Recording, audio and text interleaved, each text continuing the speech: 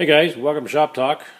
We're looking at that BP399T. That's that high performance two cylinder balanced piston motor that McCulloch made. It's called the Ghost motor.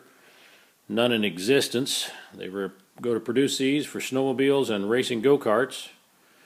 And it, the plans fell through, and so they scrapped them. This one didn't get scrapped, of course.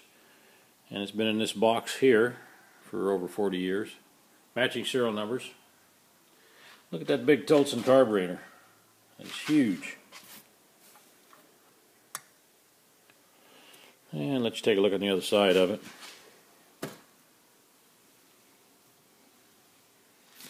It did come with an exhaust still in the wrapper.